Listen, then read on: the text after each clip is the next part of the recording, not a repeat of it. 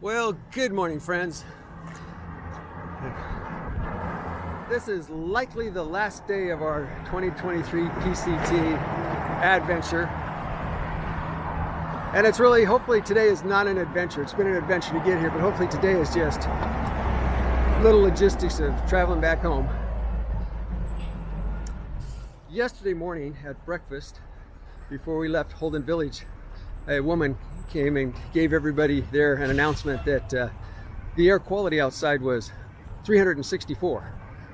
Well, that's like telling an American that it's 45 degrees Celsius outside. You know, they know that the water's not boiling uh, and they know it's not freezing, but that doesn't really mean anything to people that aren't constantly looking at air quality indexes. But when we got to Wenatchee, I had a chance to look up what 364 is. I'm gonna add a little color to that. At, uh, what is it? It's uh, airnow.gov. They have the charts and the different zones are green, yellow, orange, red, purple, magenta. Well, the magenta zone starts at 300. And she did tell people that, you know, it's unhealthy to do any strenuous outside activity. when I looked it up, it basically says, stay inside. It's unhealthy to do anything outside for everyone.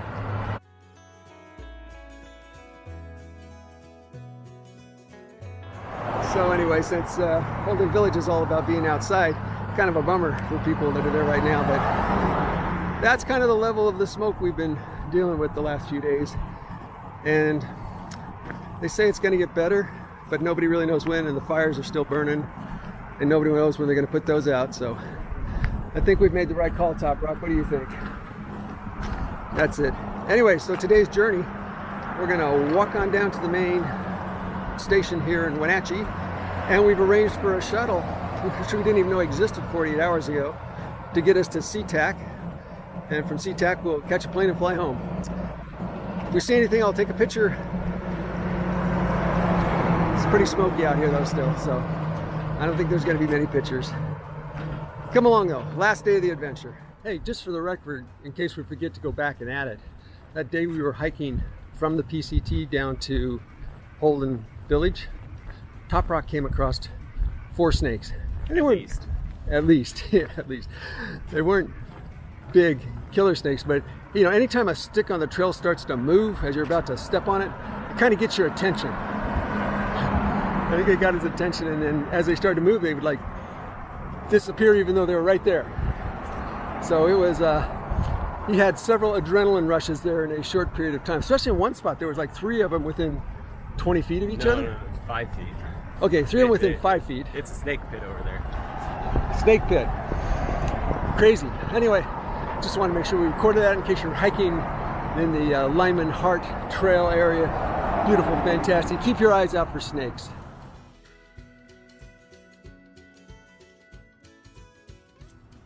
Top Rock just walked by a barber shop and made an interesting observation as he looked into the window of the barber shop. Top, Top Rock, tell us about that. There were a bunch of nice, fancy hats. I don't think you can trust a barber that sells hats. I thought that was a very astute observation. The barber selling hats, maybe there's a reason? Just a thought.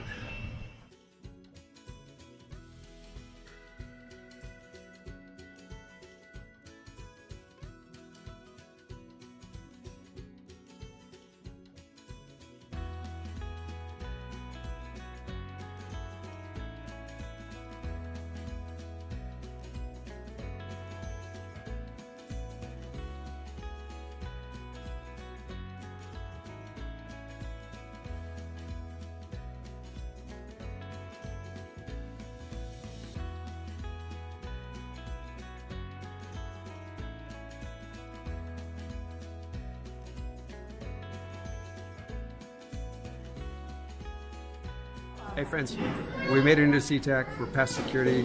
Just got to wait for our plane now. So I think we're pretty much uh, pretty much done for the moment. Top Rock. Uh, do we talk about Kedger almost falling on his face? we didn't. No, we didn't. We didn't talk about that. When was that? That was on on the way out. We were moving pretty quick to get into Holden, and something snagged a foot and a trekking pole and enough to be really close to breaking a nose. Yeah, I grabbed a, a, a left foot, a right foot. Trekking poles could not be moved forward because the bushes were snagging them, and uh, went down. But the ground came to literally right, right there, almost to the nose. But no, did did not break my nose. So that's good. Anyway, that's it for now. We'll see if we talk about it anymore. It looks like we're gonna have a flight to San Diego and then an Uber on home.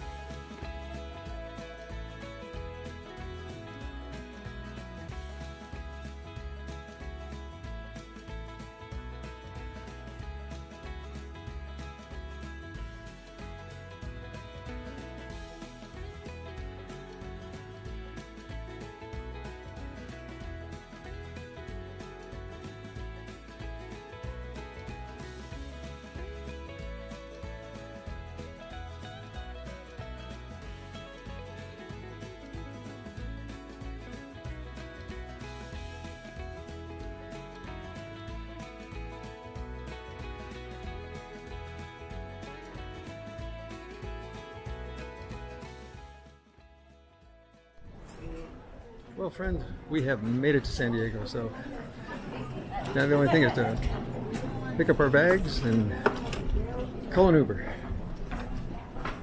Thanks for coming along with on this trip in 2023. I'll do an epilogue section, but might not put it out for many days, so watch for it. But in the meantime, it's been fun. Happy trails. Really sorry we didn't see the terminus of the Canadian border. Something to look forward to. Fair winds.